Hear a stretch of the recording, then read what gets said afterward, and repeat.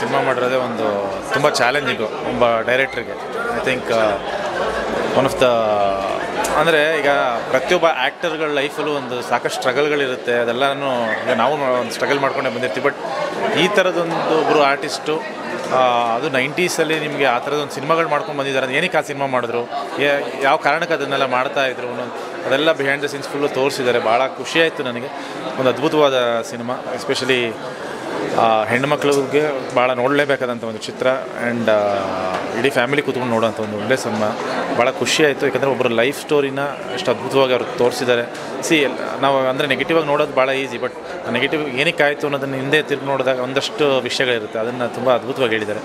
Especially ನಮ್ಮ ಇಂದ್ರಜಿತ್ ಲಂಕೇಶ್ ಅವರು ಇದನ್ನು ಡೈರೆಕ್ಟ್ ಮಾಡೋದು ಭಾಳ ಖುಷಿ ಆಗ್ತದೆ. ಯಾಕಂದರೆ ಅವ್ರು ನಮ್ಮ ಇಂಡಸ್ಟ್ರಿಯಲ್ಲಿ ವರ್ಕ್ ಮಾಡಿದ್ರೆ ಕಮ್ಮಿ. ಅಂದರೆ ಒಂದೆರಡು ಸಿನಿಮಾ ಮಾಡಿದ್ದಾರೆ ಶಕ್ಲ ಅವ್ರು ಬಟ್ ಮೇಜರ್ ಅವ್ರು ಮಾಡಿದ್ದೆಲ್ಲ ಮಲಯಾಳಮಲ್ಲಿ. ಸೊ ಅವ್ರದ್ದು ಒಂದು ಬಯೋಪಿಕ್ಕು ನಮ್ಮ ಕನ್ನಡದವರು ನಾಲ್ಕೈದು ಲ್ಯಾಂಗ್ವೇಜಲ್ಲಿ ಮಾಡ್ತಿರೋದು. ಭಾಳ ಒಂದು ಹೆಮ್ಮೆಯ ವಿಚಾರ ಆ್ಯಂಡ್ ಒಳ್ಳೆಯ ಸಿನಿಮಾ. ಖಂಡಿತವಾಗ್ಲೂ ಎಲ್ಲರೂ ಬಂದು ಸಿನಿಮಾ ನೋಡಿ. ಆಫ್ಟರ್ ಲಾಂಗ್ ಟೈಮ್ ಒಂದು ಹೆಚ್ಚು ಕಮ್ಮಿ ಒಂದು ಎಂಟು ಒಂಬತ್ತು, ಹತ್ತು ತಿಂಗಳಾಗಿತ್ತು ನಾನು ಒಂದು ಚಿತ್ರಮಂದಿರಕ್ಕೆ ಬಂದು ಸಿನಿಮಾ ನೋಡಿ. ಖುಷಿ ಆಗ್ತದೆ. ಥಿಯೇಟ್ರಲ್ಲಿ ಬಂದು ಮತ್ತೆ ಸಿನಿಮಾ ನೋಡೋದಕ್ಕೆ. ಒಂದು ಒಳ್ಳೆಯ ಸಿನಿಮಾ ಮುಖಾಂತರ ಸ್ಟಾರ್ಟ್ ಮಾಡಿದೆ. ಸೊ ಯಾರ್ಯಾರು ಇನ್ನೂ ಯಾರು ಚಿತ್ರಮಂದಿರಗಳು ಬಂದಿಲ್ಲ, ಬಂದು ಒಂದು ಒಳ್ಳೆ ಚಿತ್ರ ಬಂದಿದೆ, ದಯವಿಟ್ಟು ಬಂದು ನೋಡಿ ಅಂತ ಇಷ್ಟ ಥ್ಯಾಂಕ್ ಯು ಸೊ ಮಚ್ ಅಂದರೆ ತೆರೆ ಮೇಲೆ ಒಬ್ಬರು ಆರ್ಟಿಸ್ಟ್ನ ನೋಡೋಕ್ಕೆ ಅಥವಾ ತೆರೆ ಮೇಲೆ ಅವ್ರ ಲೈಫ್ನಲ್ಲಿ ಏನು ನಡೀತಿದೆ ಅಂತ ತಿಳ್ಕೊಳ್ಳೋದು ಐ ಥಿಂಕ್ ಒಂದು ತುಂಬ ದೊಡ್ಡ ವಿಚಾರ. ಆ್ಯಂಡ್ ಎಸ್ಪೆಷಲಿ ಶಕೀಲ್ ಅವರು ಅಂದಾಗ ಒಬ್ಬರು ಮನಸ್ಸಿನಲ್ಲಿ ಏನು ಒಂದು ಒಪಿನಿಯನ್ ಇರುತ್ತೆ.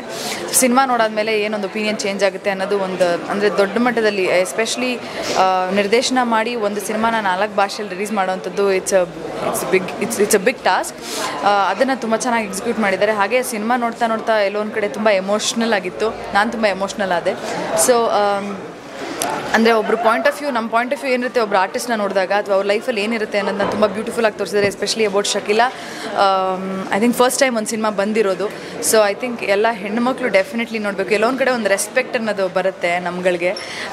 ಹಾಗೆ very well executed film and ನನಗೆ ಒಂದು ಸಿನಿಮಾ ನೋಡ್ಬೇಕಾದ್ರೆ ಆ ಸಿನಿಮಾ ಏನೋ ಒಂದು ಹೇಳಬೇಕು ಆಡಿಯನ್ಸ್ಗೆ ಮತ್ತು ಒಂದೆಲ್ಲೋ ಒಂದು ಎಮೋಷ್ನಲ್ ಕಂಟೆಂಟ್ ಇರಬೇಕು ಅಂತ ನಾನು ನೋಡ್ತೀನಿ. ಆ ವಿಚಾರದಲ್ಲಿ ಐ ಥಿಂಕ್ ಅವರು ತುಂಬ ಚೆನ್ನಾಗಿ ಗೆದ್ದಿದ್ದಾರೆ already and also I would like to congratulate Indra, Indrajit Lankesh ಯಾಕೆಂದರೆ ನಾಲ್ಕು ಲ್ಯಾಂಗ್ವೇಜಲ್ಲಿ ಒಂದು ಸಿನಿಮಾ ಮಾಡೋದು ತೆರೆ ಮೇಲೆ ತರೋದು ದೊಡ್ಡ ವಿಚಾರ. So I want to wish the team all the best and actors ಎಲ್ಲರೂ ಅದ್ಭುತವಾದ ಕೆಲಸ ಮಾಡಿದ್ದಾರೆ. I wish everybody all the best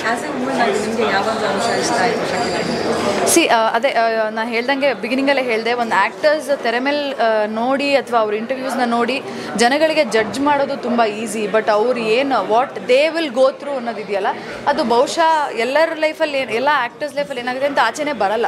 Ninety percent of the people ಆಚೆ ಬರಲ್ಲ.